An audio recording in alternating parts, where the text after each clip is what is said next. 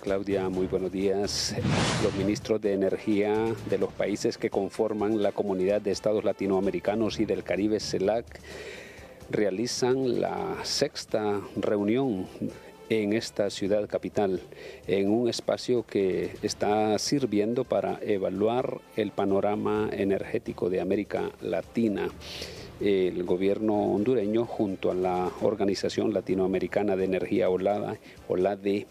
em, encabezan esta jornada en la que se ha iniciado con una ponencia magistral de parte del titular de la Secretaría de Energía, Eric Tejada, en este preciso momento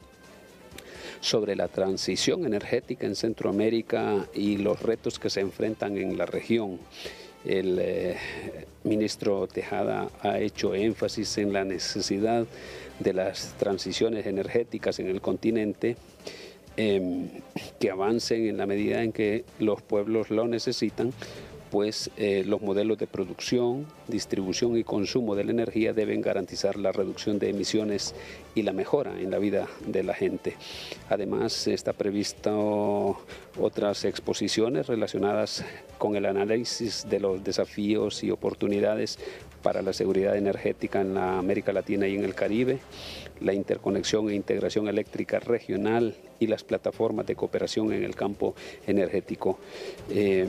en su intervención, el secretario ejecutivo de la OLADE, don Andrés Rebolledo, ha afirmado que para este 2024 el 95% de los proyectos de generación que entrarán serán renovables, lo que pone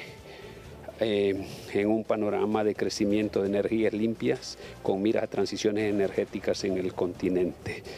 Eh, está claro que Honduras no está necesariamente siguiendo esa línea si partimos del hecho de que eh, se pretende aprobar un proyecto por 240 megavatios a base de energía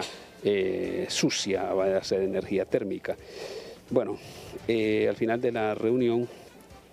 va a haber una declaración de Tegucigalpa